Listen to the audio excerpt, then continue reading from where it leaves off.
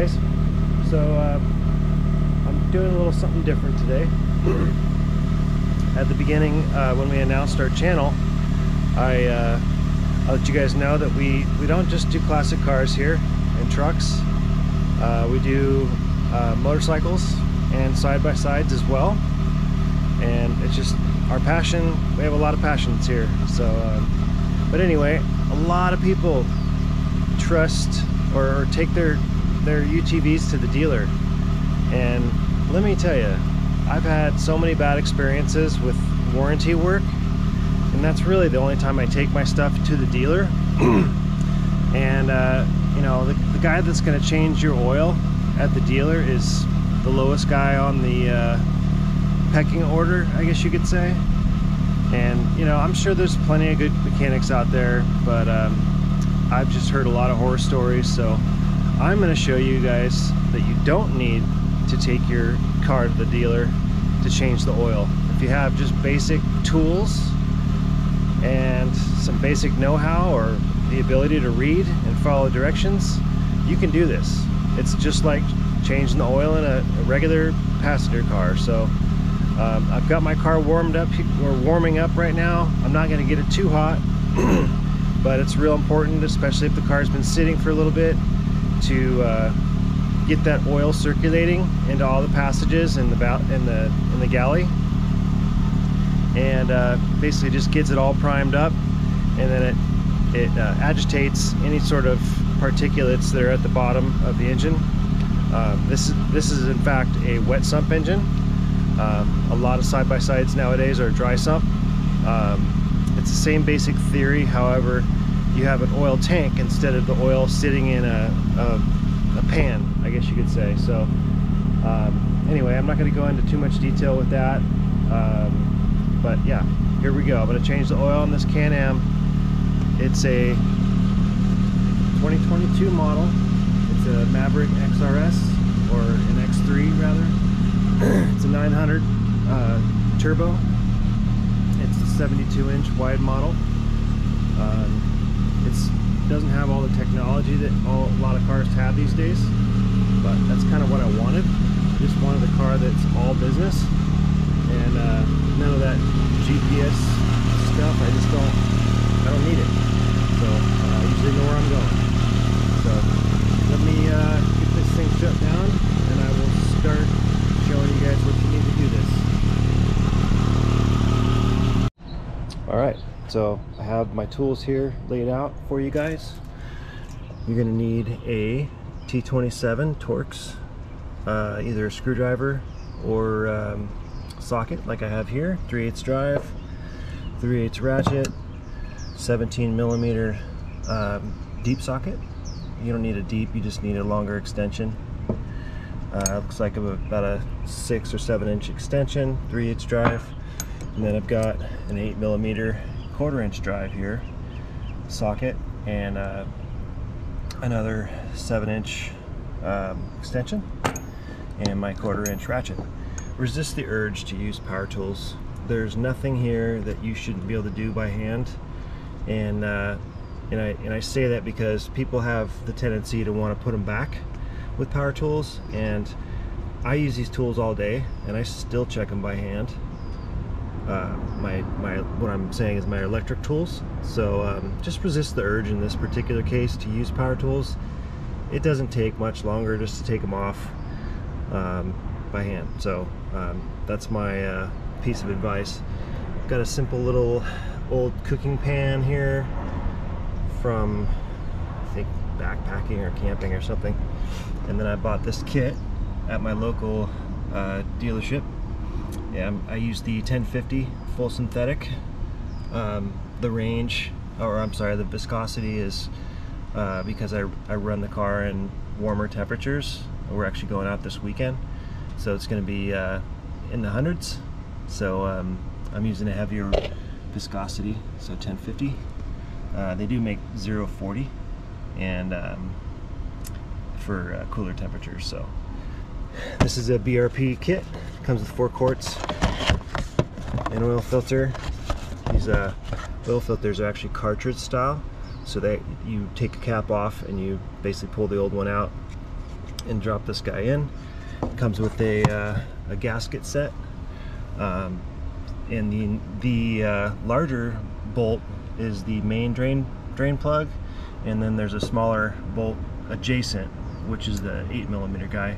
And it also has a Torx provision on that smaller bolt in case you want to use Torx, but I would recommend the, the socket.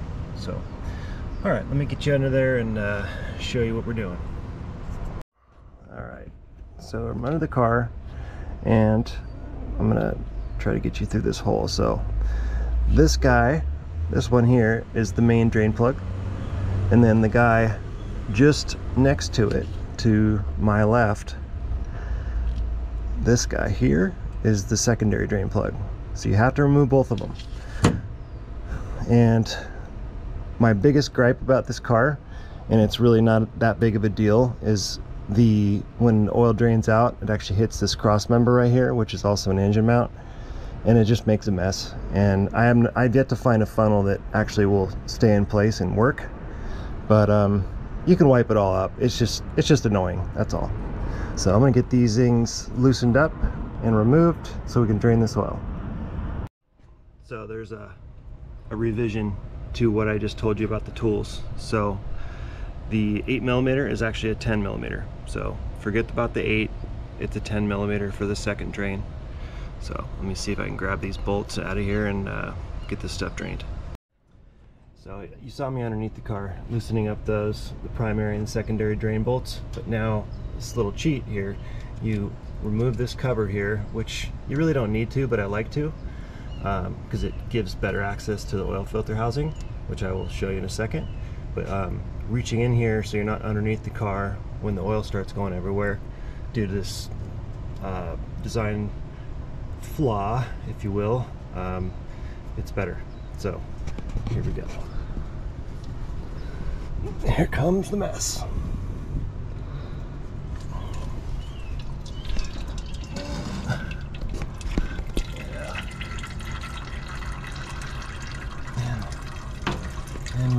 You don't want to use these O-rings or gaskets a second time.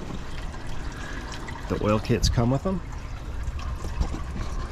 I'll set you guys up here on this tripod. So I've got oil everywhere.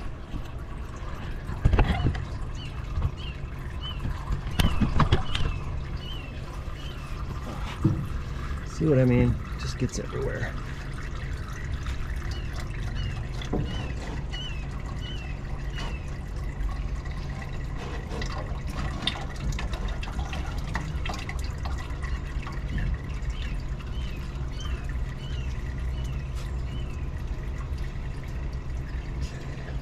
secondary drain plug.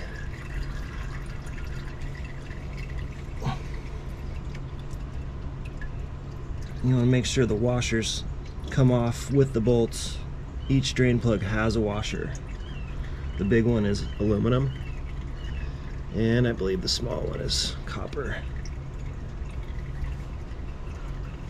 Yeah, you can see it, copper. These do not get used. Again, don't try to reuse them. It's not worth it.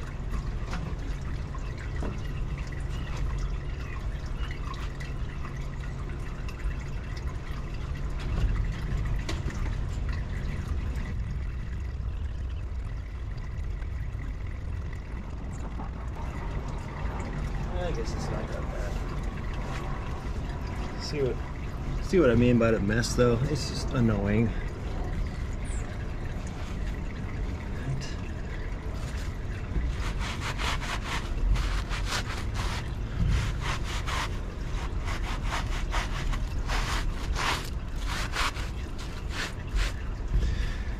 So this car takes about three and a half quarts.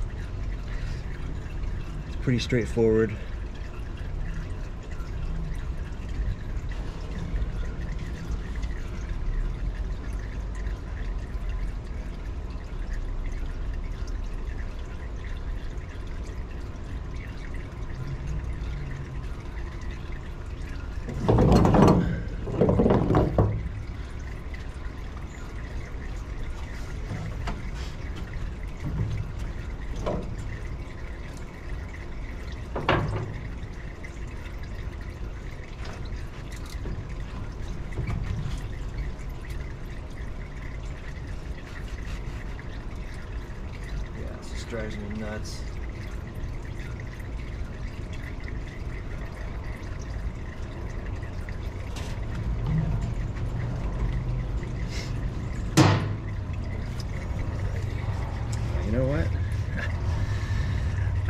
Told you guys 8 millimeter because the, uh, the oil filter cap. So those three bolts right there on top of that guy, those are 8 millimeter. So you do need an 8 millimeter. I'm gonna go grab that real quick and be right back.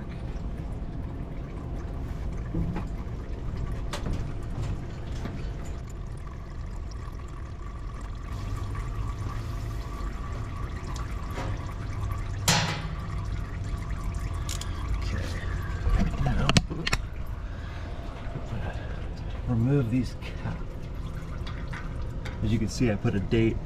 That was my last oil change right there. I did. I always do these oil changes way, way in advance from when they when they call it out.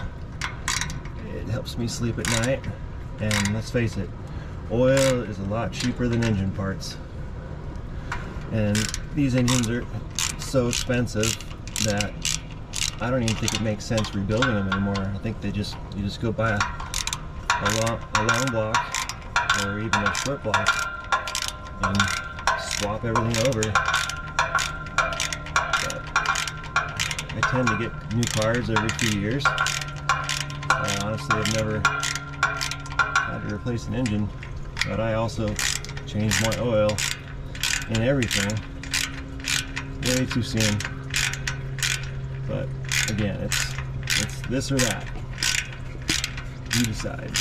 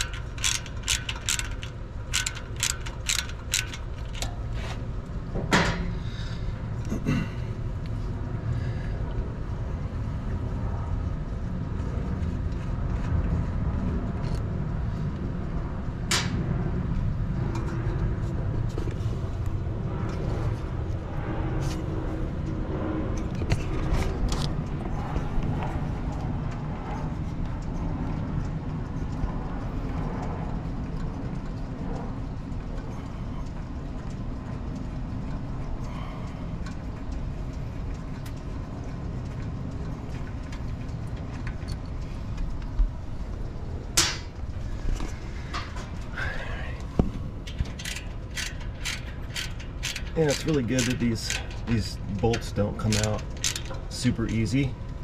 Because you can imagine if they did how many of these caps would blow off and make a big old mess and it would be too late before the owner even knew it that his engine was out of oil. So just when you thought you're gonna get frustrated. Just trust the process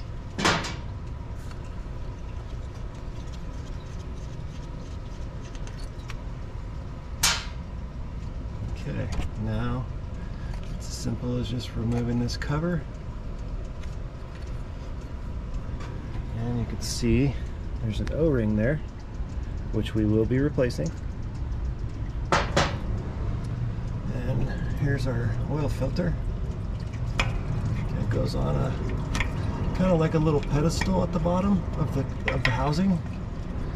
So it takes a little bit of effort to get it off. But meanwhile, my drain plugs are still open, so I'm, I'm still allowing the oil to drain while I'm doing this.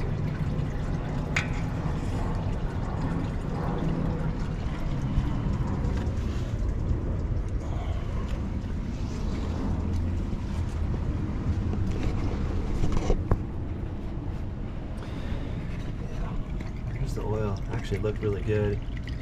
Relatively clear. Its uh, car's only got 600 miles on it and this is my second oil change. So whoever the next guy that buys this car is, is gonna have a solid car. And I did follow the break-in procedure as well. All right, let me uh, grab the oil filter and I'll be right back. All right, here is the O-ring and the washers for the drain plugs. So I'm gonna pop this O-ring on here real quick. This actually comes in your oil change kit. And it's actually $10 cheaper than buying everything separately, so fun fact. So um, with this new O-ring, uh, you want to just get a little bit of oil on it so it doesn't pinch.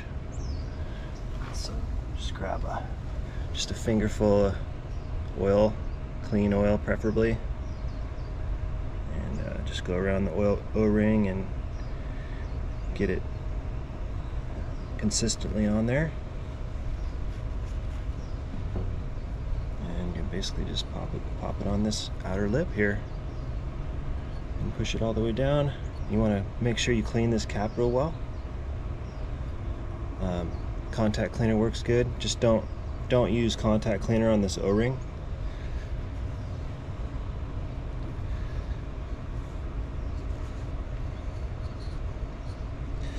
Yeah,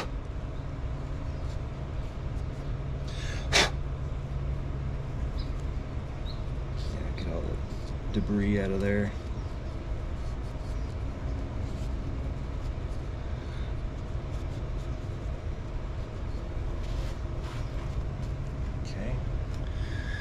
that on there. I got the, the new oil filter here. It only goes on one way. The bottom goes on the bottom. I'm sorry, the opening goes to the bottom. There's no need to lubricate this because it's already got oil inside, inside that little cartridge. I did wipe out the cartridge though, just, just so you guys know.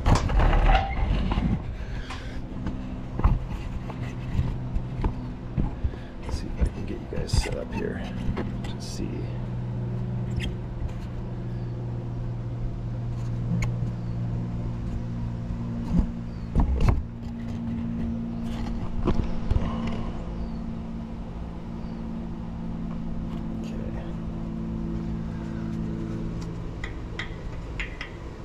kind of feel around in there for that little post in there on the bottom and just push it down on that. And the cap actually locates it as well.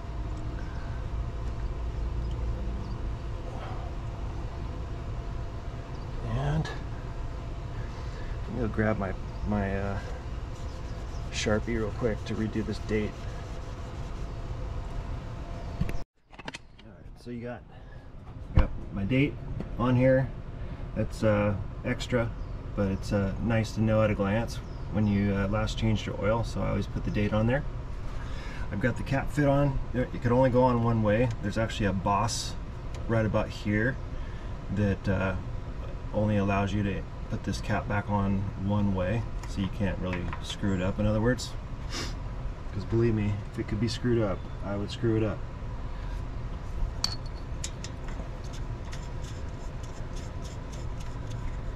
thread these guys back in here. These don't need to be cranked down, just snugged down. And then obviously check them after you fire the car up again. But we still got a few steps to go. See, this isn't bad, is it? I, I know what you guys are thinking. It's like, I can do that. That's why I do these videos, just so you guys can help yourself and understand your car as much as possible. Because a lot of people are scared of it, and they shouldn't be.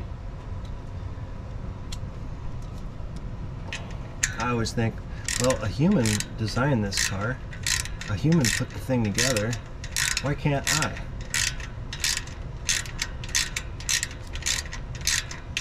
Turns out I can. And I'm going to be doing a series of, of these types of things mostly geared towards maintenance because that's what most people will will take on themselves instead of you know swapping an engine or I actually may be swapping a 900 uh, RZR engine out for my friend here in the in the coming months, which I will film. But you know, it's it's all these cars, all modern vehicles nowadays are all plug and play. There's no cutting wires. There's no splicing things. It's, it's all just weather pack connectors. And it's really all pretty straightforward.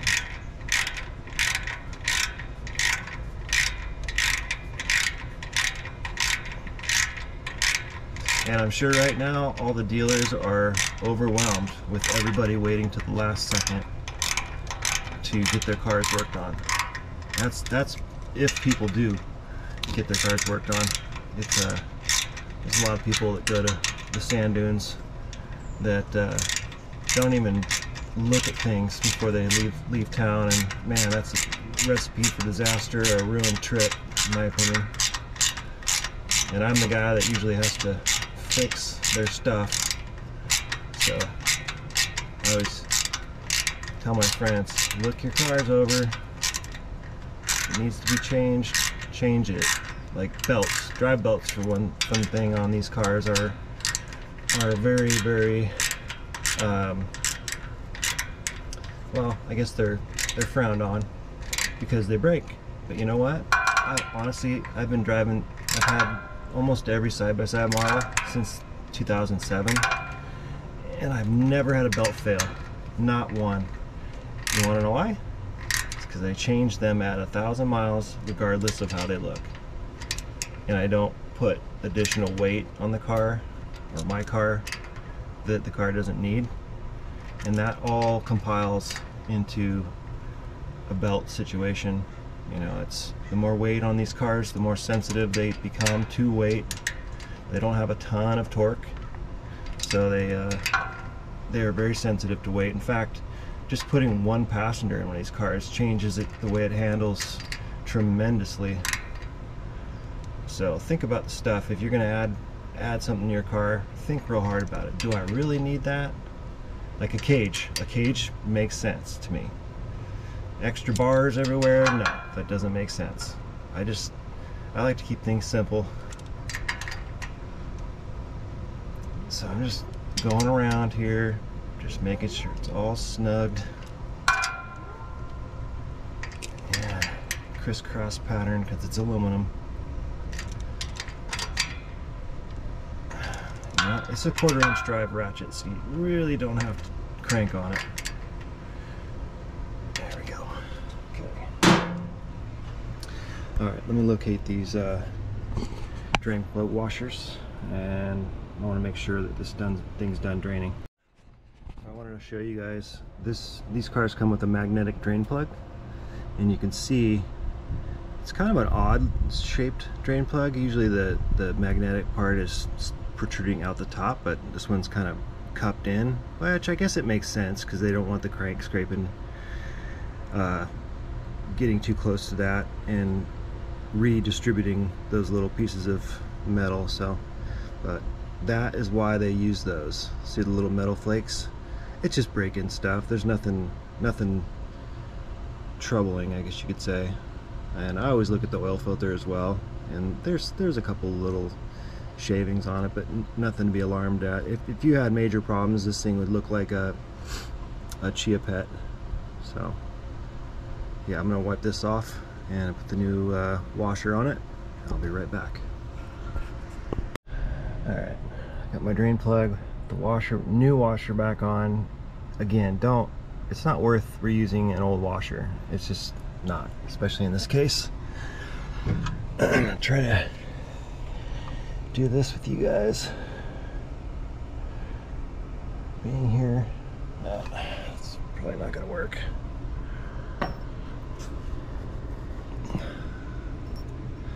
I like to wipe off the, the drain plug hole if I can to get this as clean as it can be.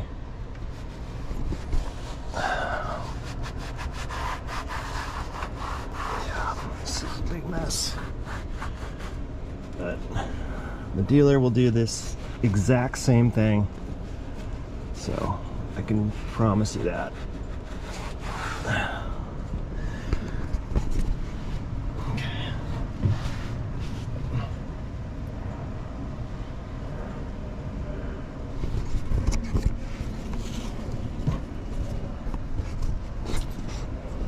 Sorry, this is just super awkward. Just not able to film very well.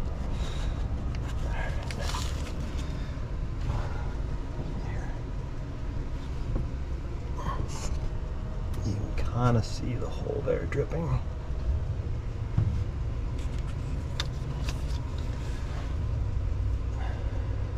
Find it with your finger.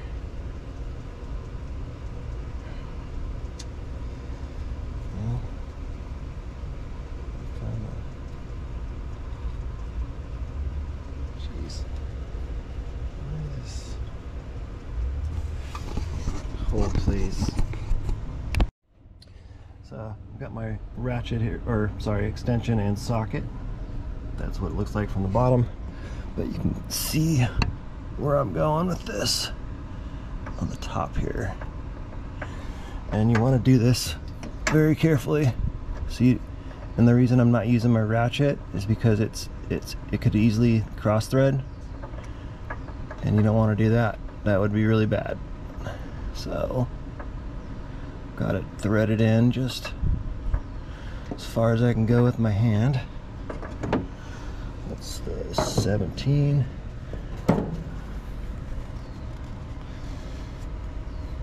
And my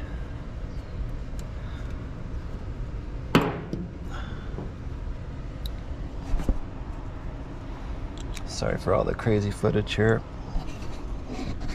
Holding this camera is harder than it looks.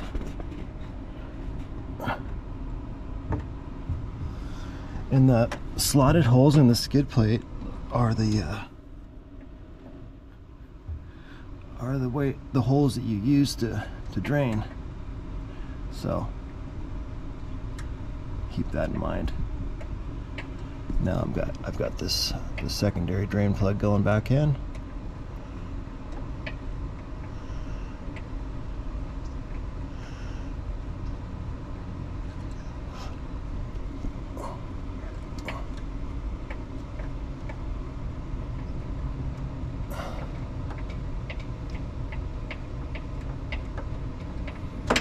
Oh, perfect. Right in the drain plug hole. the socket came off too. Yeah. I'm not making a very good case, am I? Hold on. Alright, got both drain plugs back on. It's kind of hard to see. I had to uh, put the camera down to tighten them or to snug them up. But uh, really important that you snug those guys good and doesn't hurt to put it put your ratchet on there twice just to check it. So, all right, moving on to filling the oil. All right, so I put my hose cover and uh, fuel line cover back on here. Just gonna tighten these guys back up. You want to keep this cover. It really does uh, keep the debris, especially if you're in the desert, hitting the uh, hoses and popping a hole in them. So it's just cheap insurance.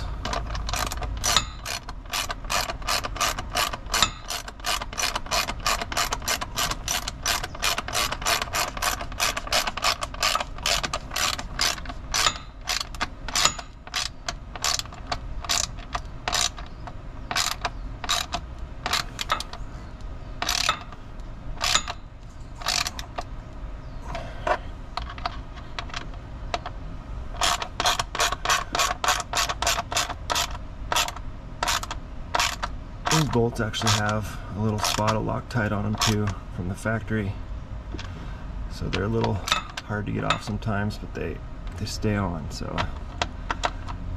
I've had some cars that just shed bolts for no reason, even if you tighten them. So, all right. Now, we got to get to that tube right there that has a little yellow uh, dipstick um, on the top there. It's kind of uh, inconvenient, but that's where they put it. So we got to fill the oil through there. So let me get positioned here. All right, so in order to get to the dipstick, it's a screw-in type, right between the CVT intake and exhaust.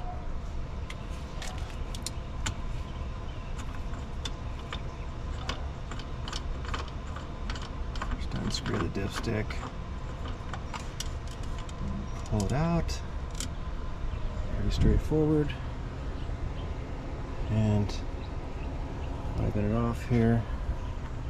So you're want to be in this range. Hopefully you guys can see it. There's a hatch hatch mark here with min and max on it. You want to achieve, uh, you want to stay in that hatch mark. I like to be towards the top of it. Uh, more oil the better for me, but um, it's debatable of course. But uh, 3.7 quarts, I believe I told you 3.5, but it's 3.7, so I've had it come out different. And then you need a funnel. Uh, clean it out real good. Clean rag.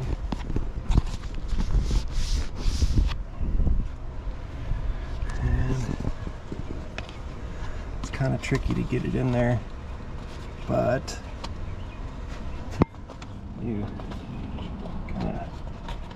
maneuver it somehow in there. There we go. Okay. And that. Make sure that's seated. Yeah, you can see it's seated in there on that dipstick tube there. All right, so start with the first quart here. Just for the sake of this video, I popped all the, the foil tops off all four quarts so it's easier. Here goes one. It's kind of tricky to do this, so I hope I don't make a mess.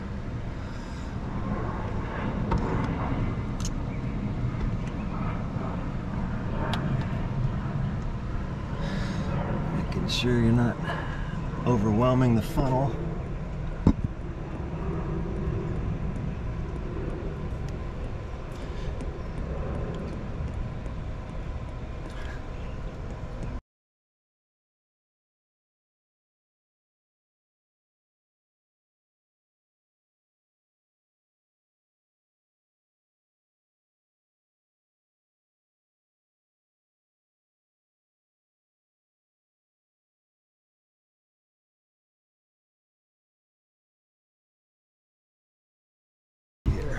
so that's about three and a half there. So I'm gonna fire it up. Sometimes the factory will, will recommend a capacity that's if the engine cases are split. And so you don't wanna go all the way to 3.7. You wanna kind of sneak up on it. So I'm, I stopped a little bit before half quart, so um, hopefully that uh, gets me where I need to be. So now we got to fire it back up and uh, let it circulate for a little bit, fill up the oil filter housing and uh, get into the coolers and all that stuff. So give me a sec, I'm to pop this uh, funnel out and um, fire it up. I'll be right back. Alright, dipstick's back in. I'm to fire up the car and on startup you're going to hear a little rattling um, and what that is, is the, what is going on here? Is the uh, cam chain tensioner, which is a hydraulic unit that just has to pump up just like a hydraulic lifter. So don't freak out. It's just because you drain the oil. It's all good. Right, here we go. I didn't hear it.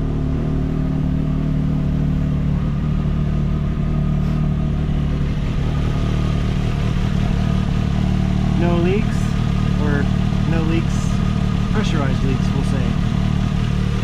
I didn't hear the cam chain tensioner, so maybe they fixed that. Let's check our oil filter housing.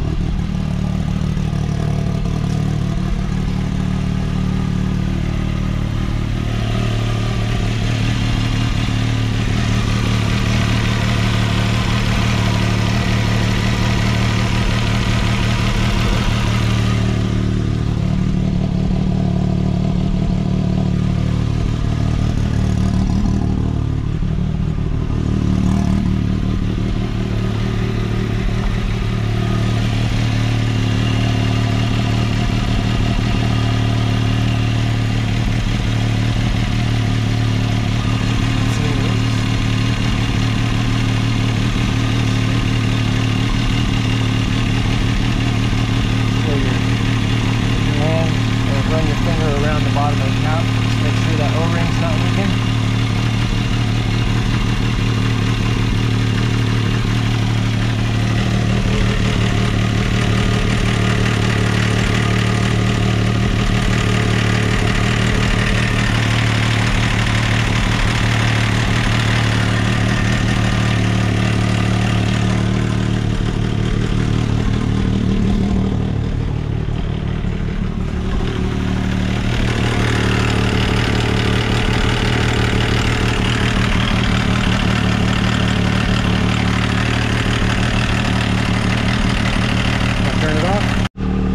So I just had a scary moment.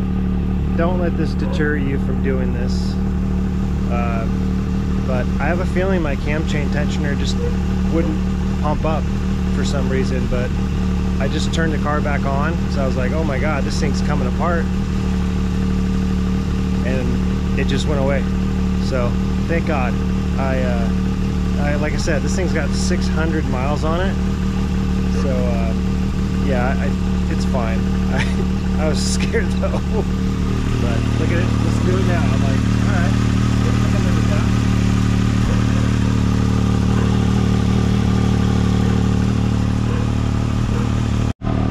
Alright, so just got the oil level perfect. The uh, cam chain tensioner has pumped up and scared the crap out of me, but uh, it's been a while since I've run this car, that's probably why and I didn't get I didn't I don't like to bring it up to full temperature even though the instructions say to do that when you first uh, start the car to get the oil circulated. Um, and that could have been why. Um, but it's fine now thank God. And uh, again don't let this little little problem deter you from doing this. As long as you check your drain plugs and replace those washers and o-rings and everything is just so don't overfill the oil, just sneak up on it. Um, you'll be fine. And uh, check your oil every time you go out because again, engine parts are way more expensive than oil. So, um, all right, so I'm gonna I'm gonna show you guys how to check the air filter. I know this is all real basic stuff, but I'm trying to encourage people to do this stuff on their own. It's easy, and let me tell you, the guy at the dealer that's gonna do this stuff for you, he's he's not the technical guy. He's the lowest guy on the totem pole, so to speak. So um, hang on a second, I will uh, show you how we check the air filter. All right, so the air filter access on a Can-Am is on the uh, behind the driver in the engine compartment.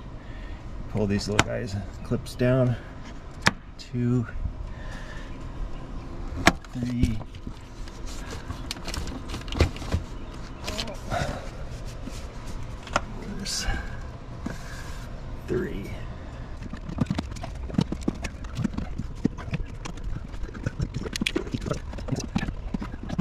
A little bit of finagling to get this cover out of here because of the clips.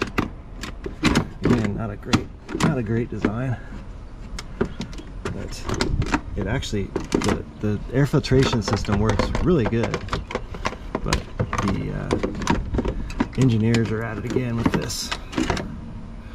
So you can see this is after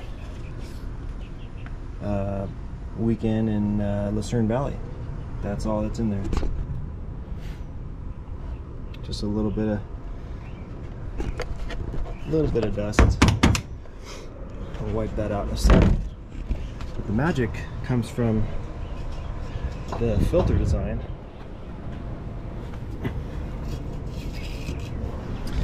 and this is very similar to like what you'd find in a diesel uh, tractor trailer or uh, like a it's a dot like a Donaldson type filter. It's a huge element. It's about I don't know I'd say about 12 inches long about uh, 7 inches in diameter. Of course Can-Am's the only one that makes these. They they do not cross-reference that I know of. But here's how to clean them I always put the opening down.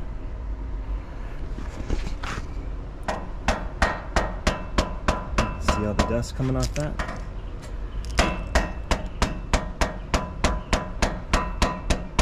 that's it. That's all you gotta do.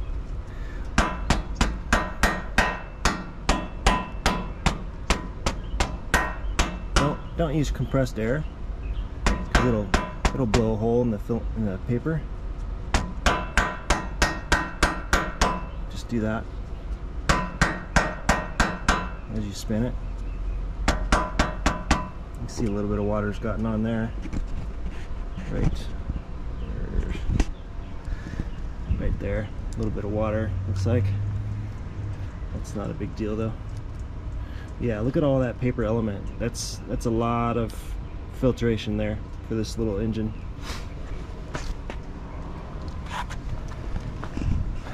So let's set this aside and show you inside. Me grab a light. Give me one sec. Here is, this is how dirty it is after one, one drive. And probably about three or four hours in the dunes. We're not in the dunes, but in the high desert.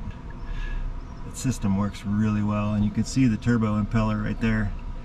And there isn't any sort of um, debris past the airbox. Little bit of oil from the uh, crankcase breather that vents into the intake. But um, other than that, it's really, really clean. So I just uh, sprayed Windex on a rag and I'm gonna wipe this box out. And I'm gonna start from very inside where the impeller is just to grab any oil that may have gotten in there. It's it's intended to go in there. It's it's for smog. In fact, I can actually uh, do a little cheat. What I've done in the past is bought like a little filter element from like Summit and un and disconnected that hose that uh, vents the crankcase into the intake track and it, it basically it's it's basically recirculating that that smog or or vapors from the crankcase and uh, the EPA wants it redirected back into the engine and uh, it's actually um, it's not not ideal I guess we'll say it's not gonna hurt anything but it's not ideal it'll uh, give your air fuel a uh, a little more rich I guess you could say. And so it'll defuel and make it run leaner. But again, it's not the end of the world. Come on. There we go. Okay, it's, it's pretty straightforward. Just wiping this thing out. I mean, it's kind of it's kind of silly to do this, but it's just part of the maintenance deal. I like to do it. I like my engine clean. And the oil stays clean. The cleaner the air going into it is. But I think the days are, are gone that these cars come with a bad air, air intake system like the early Polaris 800s are, were plagued with that issue. And then people were putting K&N filters on them, which they flow they flow really good but they also let stuff by so highly debatable topic I think K&N has its place on a race car or a hot rod but my daily driver does not have a K&N in it because I think paper filters the best for longevity and I got enough hot rods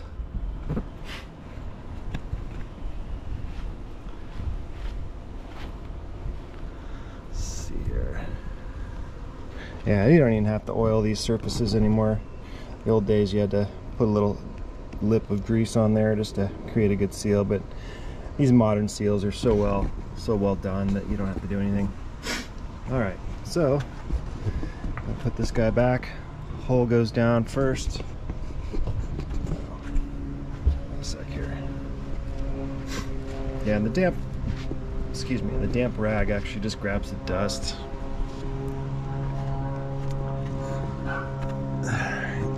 There goes back in.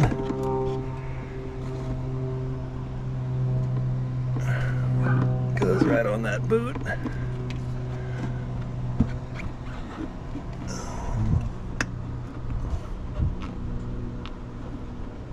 Okay, see? And then this this drain right here goes down, obviously. But that's that's actually in case air actually gets introduced into the airbox. If you submerge the vehicle, it'll actually just drain out.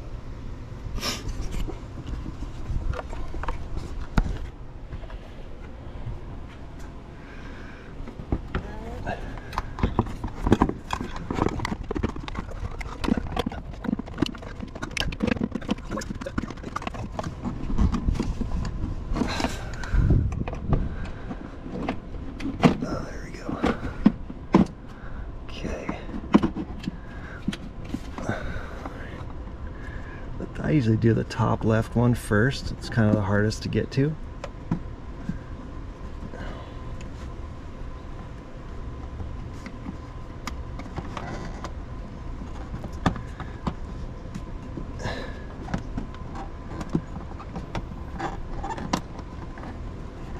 Alright, there's that.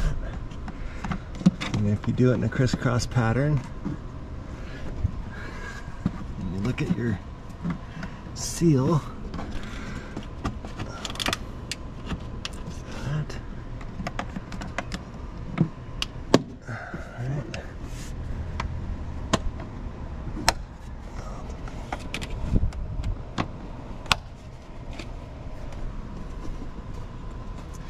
Yeah, you just want to be careful. You want to make sure you're careful and you don't get a false a false latch because the uh, this box I don't know. It's pretty it's kind of flimsy but you may uh, you just want to run your fingers around there to make sure the reveal between the, the cover and the actual air box is is consistent.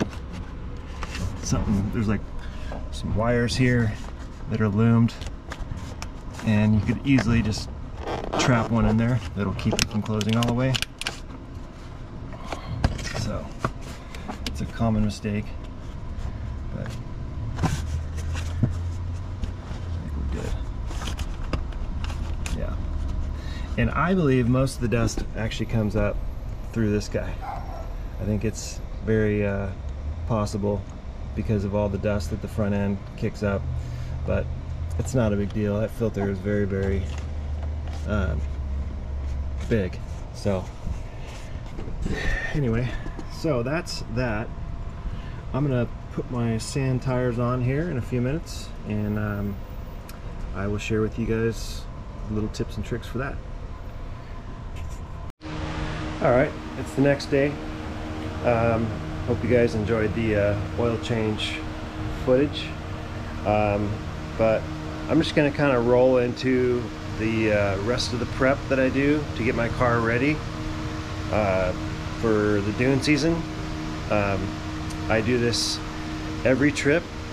However, um, it's just peace of mind. A lot of people, you know, that have beadlocks don't uh, don't ever check them, and then they wonder why they leak or they get loose and they shed bolts and whatnot. So, beadlocks are uh, are something that you have to chase. They're uh, it's not a maintenance-free deal. It's a mechanical um, lock for the outer bead of the tire, obviously, and um, you know these bolts are getting vibrated, they're getting beat on, and um, especially when they're new, they they uh, sometimes they loosen up, um, as well as lug nuts. So if you don't torque your lug nuts, you just kind of snug them up and it's fine. Just check them.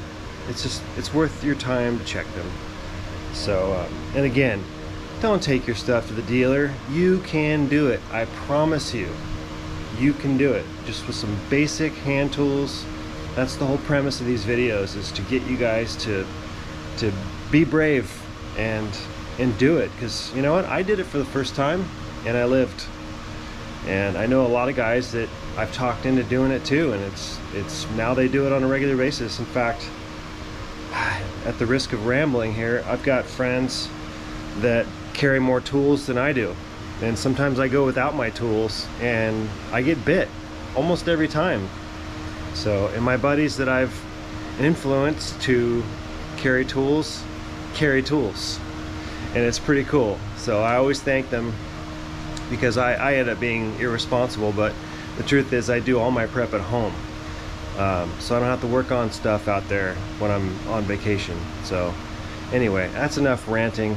Um, I hate to be that guy, but I'm, I'm just trying to sway you guys into into uh, having the courage to do this stuff on your own. After all, you paid a lot of money for it, so think about that. but you may recognize these wheels. I had them made last spring by a company called OMF Performance in Riverside, California. Um, these are custom, absolutely custom. They will make you any wheel you want, any diameter, any width, any offset, back spacing. And you can choose your colors. You can choose all sorts of different patterns that they do on their mill and CNC machine. Um, in fact, if, if you were to invest in a set of these wheels and you decide to change brands at some point, you can actually buy these plates. They just unbolt from the wheel. So you keep the actual wheel, but you can actually re replace these plates. About, I think they're about 100 bucks a piece. Um, and in the grand scheme of things, that's really not that much. So if you swap brands, like from Can-Am to Polaris, or vice versa, or Yamaha, or whatever, um, so these, these wheels aren't just for the one car that you have. so, but I have these custom spec from, for my taste and my driving style. And um, I'm gonna go around and, and, torque all the fasteners right now. I know it's uh, sounds kind of boring, but it's stuff you gotta do. So let's uh, get going.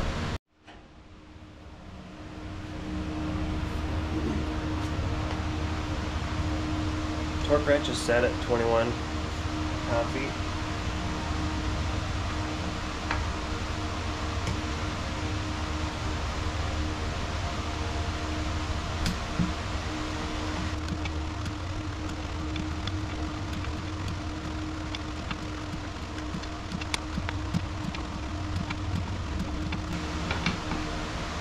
I usually just go around twice because that's with aluminum, it flexes and when you tighten one, it may loosen another. So just go around twice, just so you know that they're all at the right torque. And you want to sneak up on your torque. I see a lot of guys jamming on this thing. It's you're getting a false reading if you if you go too hard on it. So you just want to hold it with one hand on the left here, and then just sneak up on it. Otherwise you'll get a false reading.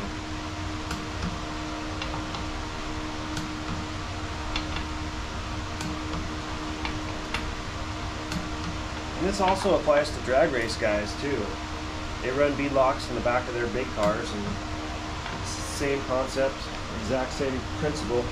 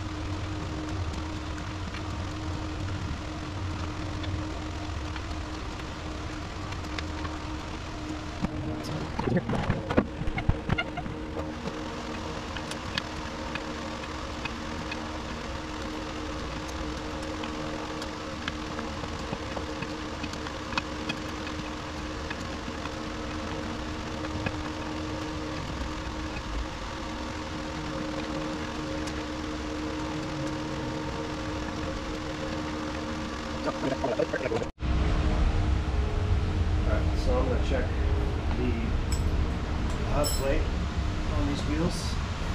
And it's, it's really just a grade 8 bolt. They go all around the whole perimeter here and, and hold this plate on. you can actually move this plate to the inside if you like. Um, if you're looking for a little more, little deeper offset or back spacing. Um, really versatile, but ideally you can actually swap these out, like, like I said, uh, to change brands, which which makes the wheel investment make a whole lot more sense in our opinion. So it's got this hardware has top lock nuts, so they're not nylock, and nylocks actually wear out, and these will wear out over time as well. Um, if I was preparing a race car, I wouldn't take these off and put it back on more than twice because the top lock actually wears out. It's more of a friction hold than a than a nylock uh, nut. So these are preferred in the racing industry. So if you can if you can get these nuts instead, I would recommend them.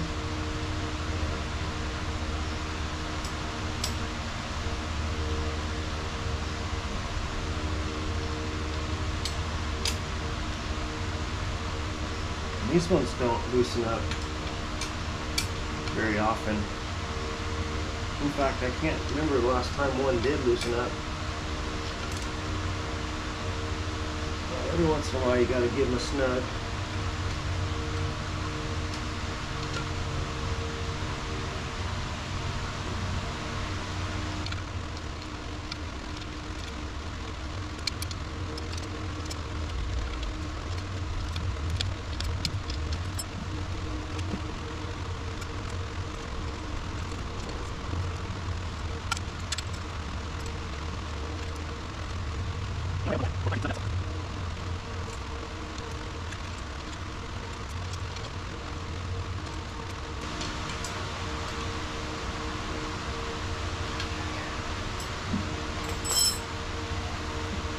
Made in the USA.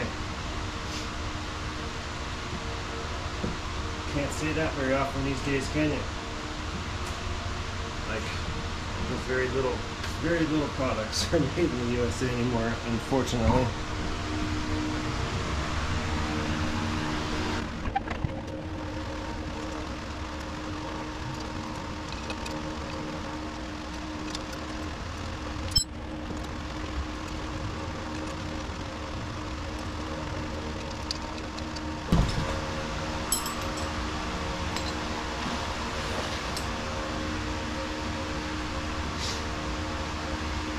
suppose a smarter way to do this would be just to go around and check them all with the ratchet.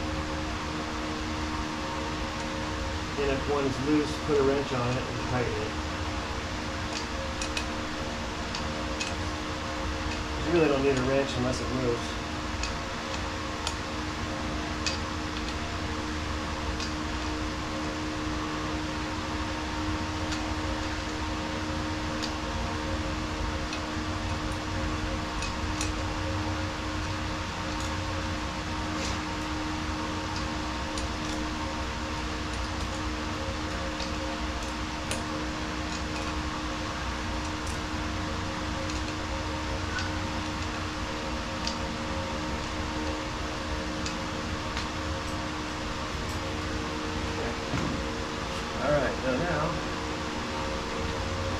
air These have actually been pretty good since I got them. They're uh, they don't really leak at all. Usually beadlocks leak a little bit over time, or any tire for that matter. Theoretically, uh, as Mario Andretti would say, you lose a pound a pound of pressure every month in a typical tire. So, uh, words of wisdom, wisdom for probably one of the best drivers that ever walked the land of earth. Okay, so I like to run um, for Glamis sand, which is typically very, very dry. Um, I run 10 psi in the fronts and 10 or 9 in the rear. Typically 10 feels a little bit knifey, and what I mean by that, they feel like they're they're uh, digging in and you don't want them to dig in you want them to float. So uh, so yeah let me uh, adjust these or check them we'll go from there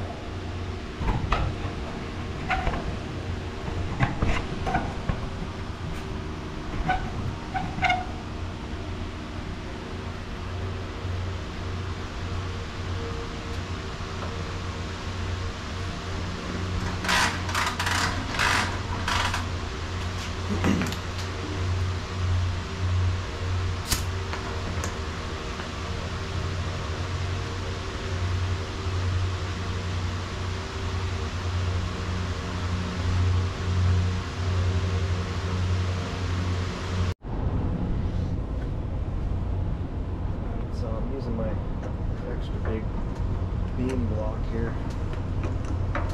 Chalk the front tire. But you have to use a, a block with these uh, with these cars because they make so much travel you can't get the tires off the ground without one. Now, it's not as big of a deal on the back because it's in park, but if before you jack up the front, you want to loosen the lug nuts while it's still on the ground.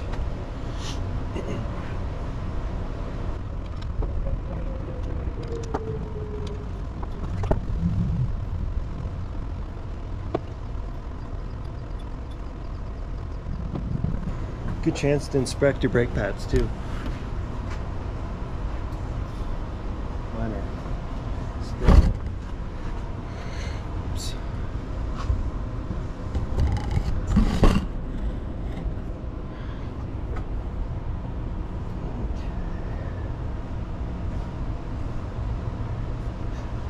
So I made a red mark when I mounted these to put at 12 o'clock and you put the tire on on the wheel. This red mark right here. And I'll show you in a minute why.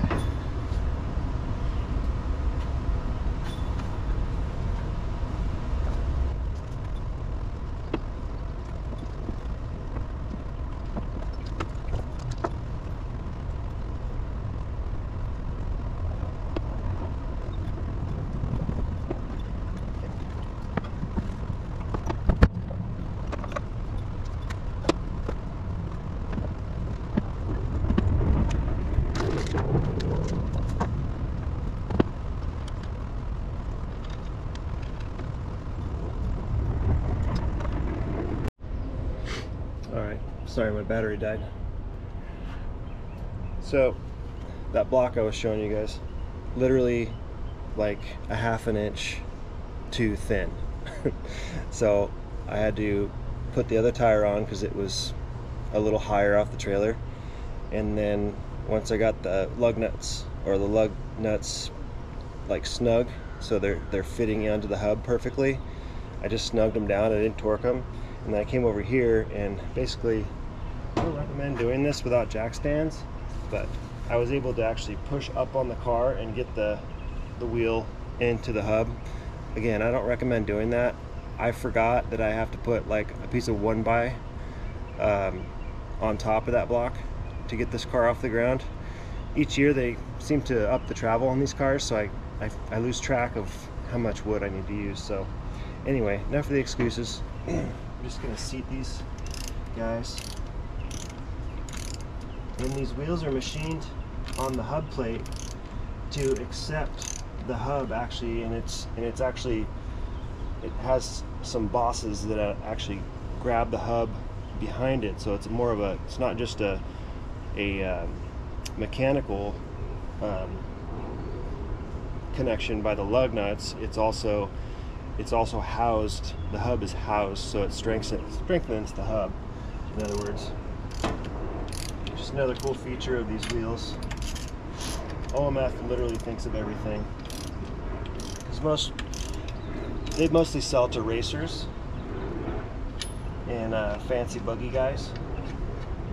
But uh, I, I love their wheels because I can basically get whatever I want. And a lot of the over over the counter wheels don't come in the sizes that I prefer. And you'd be surprised that OMF is not that much more expensive than regular over the counter wheels. In fact, Method, their race wheel, which is a V-lock, um, is about a $100 more per wheel than these. And they only come in two different sizes. So, you probably didn't know that, did you? Now, of course, their regular wheels are much cheaper, but you get what you pay for. Nothing wrong with a method wheel. I don't like to uh, disparage anybody, but it's uh, it's it's actually very close, and then you get exactly what you want: the color, the the design, everything. So, enough, enough of that. So I've got these guys on. I'm gonna lower the jack and swap it to the front. Hang tight. This is what I was talking about on those, the rear wheels. See how it's, it's all uh, milled out here? So this actually captures the hub. I don't know if you can see it, but yeah, there you go. So that actually captures the hub and actually uh, provides more strength. So.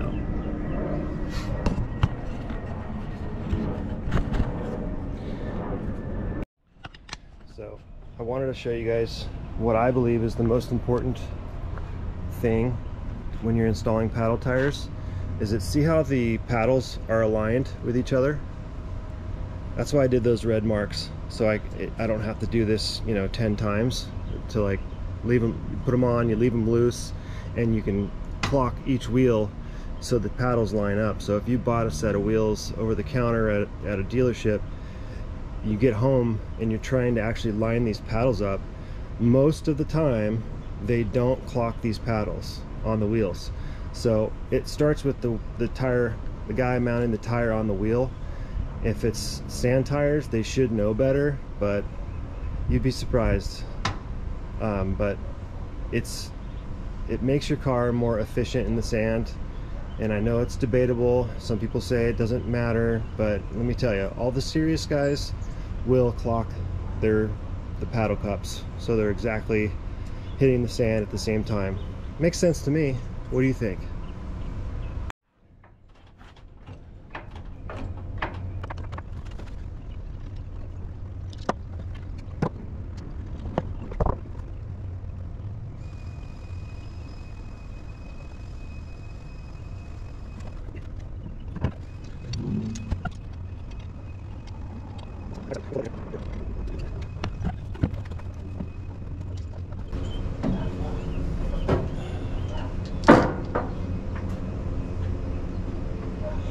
front wheels don't or tires don't need to be clocked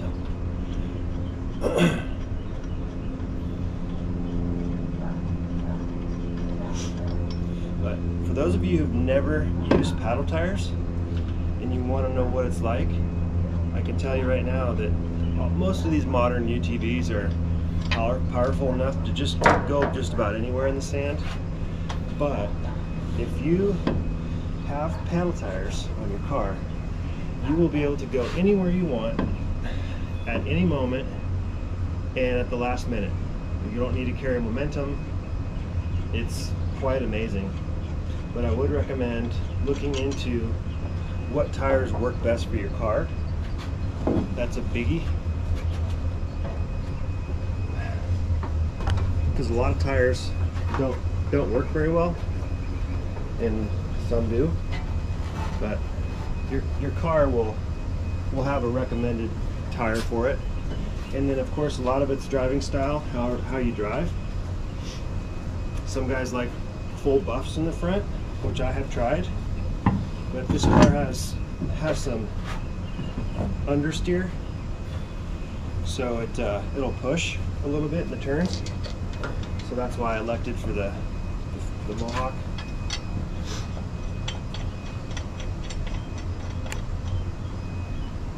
I had a a Yamaha YZ or YXZ 1000 and uh, I had buffs on that. And uh, sand, sand tires unlimited comp cut. Um, and that that set of tires worked really well for that car because it turned in really well. But again it's it's driver and car specific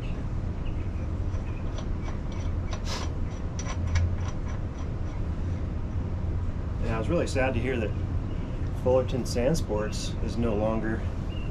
I used to talk to Dave over there about which tire to use because they, they tested everything they sold. And uh, I'm not sure what happened to those guys. I think they went under or got bought out. It's a shame. They were the authority for sand, sand tires. Now I'm just seating these, just snugging them up because the tire's still off the ground. I don't like to set them down until the lug, the acorn part of the lug nut is seated in and just snug.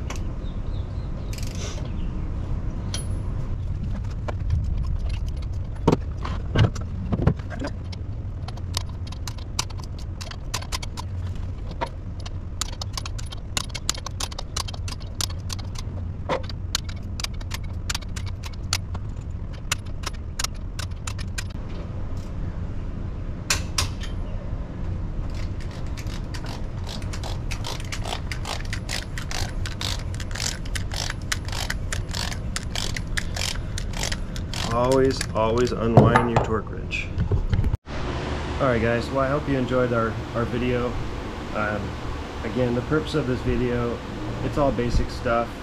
I highly encourage you to do your own oil change, change your own tires. It's really not hard to do. You just need a few simple tools and uh, you'll feel much better about it. I promise. You'll know that it's done correctly. You'll know those drain plugs are tight and uh, you'll gain some knowledge. You know, YouTube is obviously a very powerful tool and um, that's why we do it.